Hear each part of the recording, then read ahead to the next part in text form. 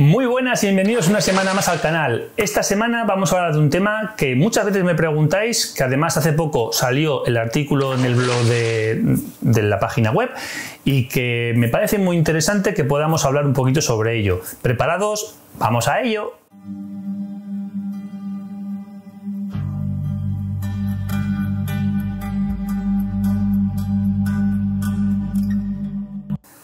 Mirad, este vídeo es algo, insisto muchas veces, en que parecen temas que, se han hablado mucho, que se lleva años metiendo esta información en los blogs, en los foros, y que sigue a veces, eh, o al menos os veo, sobre todo en Facebook, que muchas veces sigue preguntando a la gente lo mismo. Así que considero que es importante aclarar ciertas cosas, así que bueno, vamos a ver qué tal se nos da. Así que bueno, esta semana del vídeo que vamos a hablar es sobre las plantas en los acuarios. ¿Qué pasa con las plantas en los acuarios? Bueno, pues que realmente no pasa nada. O sea, me refiero que no tenemos ningún problema a la hora de elegir plantas. A las gambas no hay plantas específicas que vayan a ser contradictorias, no van a ser problemáticas, peligrosas. No hay algo que tengamos que decir esto no lo pongáis. Antiguamente digo antiguamente, hablo de hace ya más de 10 años, eh, todos los foros y toda la información que teníamos siempre era eh, que teníamos que tener ciertos cuidados o intentar no introducir al menos varias especies de plantas, como podía ser la nubia, eh, las criptocorines. había plantas en que, mm, además también se ha hablado en otros vídeos que he hecho con otros colaboradores, en que científicamente sí que se podrá demostrar que hay plantas que a la hora de podarlas, mm, a la hora de que una hoja pueda partirse, eh, puedan desprender el tal llamado ácido oxálico. Siempre hubo ese temor a que eso podía llegar a matar a las gambas. Y yo siempre insisto, ojo, eh, yo no puedo demostrar que ese ácido exista o no exista. Pero sí puedo demostrar otras cosas. Puedo demostrar que llevo pues más de 10 años usando esas plantas y las he usado en los gambarios y las he usado en acuarios con peces y hay que intentar un poco partir de, la situación de cuántas plantas se tienen, cómo es el acuario de grande, porque no es lo mismo, imaginaros coger una cucharada de azúcar en una tacita de café, que en vez de beber café te vas a beber eh, pues azúcar con café a que en un tazón eches una cucharada de leche, de leche de azúcar y entonces ese azúcar se disuelva en todo ese tazón. Creo que esto es lo mismo con las plantas. Estas plantas que pueden desprender ese ácido oxálico como algo que siempre hemos tenido de tachado, de tener cuidado de que puede ser peligroso, si pensamos que tenemos, no las anubias, que pueden tener un tamaño, van creciendo un tamaño relativo, tenemos mini anubias, Pensar que esa pequeña planta en un momento determinado puede desprender ese tipo de ácido y si nos basamos en acuarios de 30, 40, 60, 80, 200 litros de agua, esa cantidad de, de, tóxico disuelta en tanta concentración de agua posiblemente sea una mota de pelo, una mota de polvo inapreciable para toda la columna del agua. ¿De acuerdo? Entonces, como pienso que hay que saber siempre sobre qué factores nos basamos, sobre tengo un acuario solo de anubias y ese como puedo todas todas las semanas, resulta que además no cambio el agua, pues bueno, estoy haciendo una concentración masiva de algo que puede tener la planta en un recipiente que encima no cambio el agua y repongo nueva. Con lo cual la concentración siempre es mayor. Ostras, si nos basamos en eso, entonces igual son peligrosas. Pero si nos basamos en que cuando hago mis cambios de agua, hago una pequeña poda y aprovecho cuando he podado con el cambio de agua, luego retiro el agua y introduzco agua nueva. Ah, entonces lo que ha desprendido la planta igual lo has eliminado con el cambio de agua. Entonces eso no es peligroso porque no ha dado tiempo. O saco la planta afuera porque está en un tronco, hago las podas que necesito hacer, lo aclaro debajo del agua y luego lo pongo dentro del acuario. Ah, entonces el tóxico eh, lo que lleva la planta, lo has hecho fuera y por lo tanto no ha quedado dentro del acuario. Entonces eso no es peligroso. ¿ah? Claro, es que son muchas circunstancias. ¿no? Yo tengo unas cuantas anubias, las puedo dentro, pero tengo un acuario de 60 litros. Entonces, una ramita pequeñita que he podado sobre 60 litros de agua, pues ostras, si fuese tan venenosa, yo creo que con la experiencia de tanta gente que comparte en las redes sociales sus fotos, sus vídeos, y en este caso hablo de mi experiencia propia, yo creo que en algún acuario, en algún momento, alguna gamba o toda la colonia de gambas se tendría que haber muerto. Porque es que prácticamente tengo de aquí atrás, prácticamente todo lo que salió del proyecto del low tech de ahí atrás, que eran anubias, mini anubias, ha ido todo a los acuarios de los gambarios. Yo, mm, si no tuviese confianza absoluta, yo no me arriesgaría. Entonces, no quiere decir que tú tengas que tener la confianza porque yo te he dicho nada y luego tengas problemas. Ojo, pero sí que hay que pensar que durante estos años, tantos años, la gente ha seguido usando anubias y otro tipo de plantas y no han sido tan problemáticas como generalmente solíamos hablar. Entonces, basando sobre todo esto que es a lo que íbamos, qué plantas podemos usar en nuestros gambarios, pues realmente no hay un tope, un techo, algo que nos diga exactamente qué plantas debemos de usar. ¿Recomendaciones que os podría dar ahora mismo? Bueno, los musgos, los helechos, son perfectos por sencillez, por mantenimiento, porque se reproducen bien, porque no necesitan abonos específicos para poder introducir. Mm, sería el primer bloque musgos y helechos.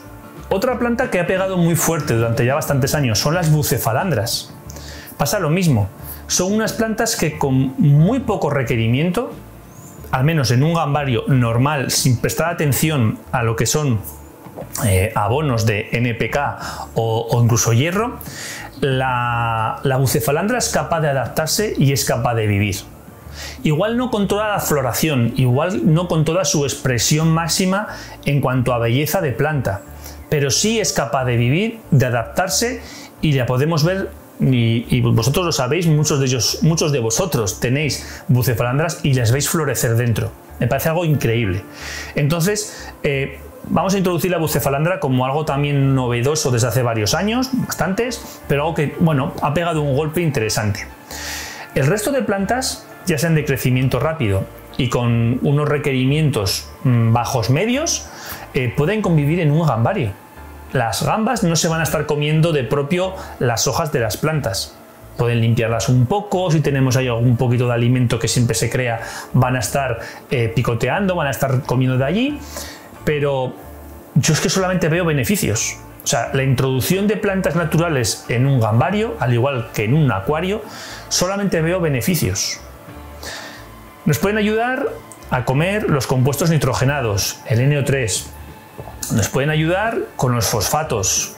Eh, entonces, el equilibrio que nos genera en un acuario, el introducir siempre plantas naturales, va a hacer que al final todo sea una consistencia, un ecosistema que se, que se llegue a equilibrar.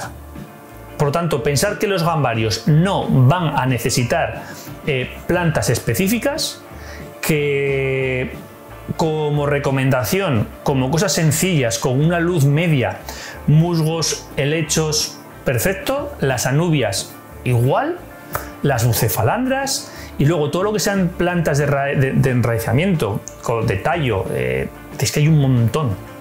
Todo lo que pueda gustaros más o menos y que sobre todo que se os adapte lógicamente al acuario. Es lo más importante, que con los requerimientos que tengáis se adapten al acuario para que la planta pueda crecer sana. Entonces, el resto de cosas, nada, ningún problema. Eh, tengo varias recomendaciones, eso sí que me gustaría deciroslo desde ya. Por casos que he conocido eh, de gente cercana.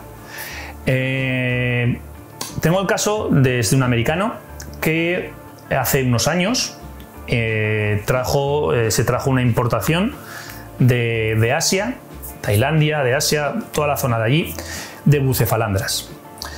Hay que pensar en que se usa mucho pesticida. Y es así. Se usa porque mm, en el momento que puede entrar algún animal, deben de desparasitarlo y para que no se carguen pues, sus, eh, sus plantaciones. No solo eso, sino que a la hora de poder exportar ellos, para poder importarlo nosotros, algunos de esos importadores, si son... ¿Vale? Eh, para pasar sus controles fitosanitarios y otro tipo de documentación que se necesita, pues también se también algunos, y no estoy hablando de todos porque yo no los conozco todos, sino la experiencia que me transmitió este, este conocido, eh, al lógicamente introducirlos, ya, sea la igual en la Unión Europea o sea en Estados Unidos, eh, claro, necesitaron unos controles sanitarios de que esa planta no venía con parásitos, pues en este caso de Asia. ¿Y qué es lo que le sucedió? Pues que aun habiendo aclarado y habiendo limpiado esas plantas, cuando las tuvo introducidas en los acuarios de las gambas, se le murieron todas las gambas. Todas. Y no las metió en un solo acuario. Eh, a mí se me caería el mundo, igual que cualquiera de nosotros, igual que cualquiera, de vosotros. Y creo que es un problema que hay que tener en cuenta que podemos pensar que por intentar hacer por nuestra cuenta ciertas cosas, eh, nos ahorramos, pero luego tenemos un chandrío detrás. Eh, para eso hay profesionales que se dedican a, a traer, a ofrecer productos de calidad y que la responsabilidad sobre lo que te está vendiendo pues está ahí. Por tanto, mucho ojo. Eh, como recomendación primera y la más grande de todas, hay que tener mucho cuidado de dónde se traen, porque las condiciones en las que se traen, pues no las tenemos controladas y no sabemos cómo vienen, ¿de acuerdo? ¿Qué otras cosas como recomendación os puedo dar? Pues lo pongo un poquito también en el blog. Eh, siempre intentar eh, conocer a la persona o conocer al profesional que te va a facilitar esa, poda o, ese producto que tú vas a comprar de plantas. Porque os acabo de hablar de, lo que puede ser el tema de, eh, pues de las fumigaciones, insecticidas y demás. Pero claro, dentro de los acuarios también tenemos otros parásitos, lo sabéis, hemos hablado, hablamos de las, de las hidras, de las planarias, de caracoles. Entonces, claro, eh, pensar que además una hidra o incluso una planaria eh, puede tardar muchos meses a desarrollarse aun después de haber introducido la planta dentro de vuestros acuarios. Y puede que por no haberla desinfectado y haber tenido un previo, eh, una previa limpieza, o haberla tenido un poco en el acuario hospital para haberla tenido un poco ojeada, puede que a los meses pues empecemos a ver cosas en el acuario casi que igual eso es lo menos problemático, ¿vale? Puede que sea lo menos problemático ante que se os pueda morir una colonia entera de gambas. Porque ya sabéis, tenemos productos que pueden eliminar las planarias, las hidras, los caracoles y eh, no afecta a las gambas. Pero sí que tener eso en cuenta. Como última recomendación, siempre lógicamente intentar, eh, que también es una opción, mm, pues como digo, acudir al profesional que ofrece plantas in vitro.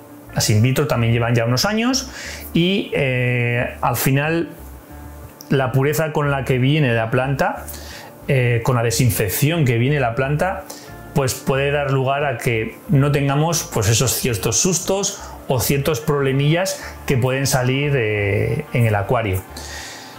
Sobre el tema de caracoles, yo voy a dejar aquí un inciso. A mí, por ejemplo, me gusta usar caracoles en todos los gambarios en todos. Pienso que, también aportan mucho. Para mí no son una plaga, a mí no me resulta problemático tener eh, caracoles en, los gambarios y pienso, insisto, que hacen más ayuda que, problemas. Eh, desde Planorbis, eh, no, falsos, falsos, Planorbis hace que no tengo años, pero Planorbis sí que, sí que los tengo. Entonces, pues lo dicho, intentar pensar en eso. No tenemos plantas problemáticas para tacharlas como plantas eh, críticas para, las, para los gambarios, para las gambas. Tratar siempre de controlar la procedencia con una desinfección, una limpieza. Ya os he dicho en algún otro vídeo que yo uso el, Z1 de Aqua para eliminar, para tratar las plantas, o sea, en un propio acuario solo tengo ahí las plantas que vienen, las desinfecto, hago varios cambios de agua durante varias semanas y cuando todo eso ha pasado, ya entran, en este caso, ya entran en la web a ponerse a la venta. O sea, yo intento pasar los controles bastante personales para que primero no me pueda pasar nada a mí y por supuesto no pueda pasar nada a ninguno de vosotros cuando confiáis en comprarme a mí también plantas. Entonces es mi forma y es lo que intento yo transmitiros a vosotros. Recordar sobre todo, importantísimo, suscribíos al canal. Este vídeo no lo hubieseis visto si no tendríais la campanita activada. Y espero que os haya gustado el vídeo y hasta el siguiente chicos. Hasta pronto.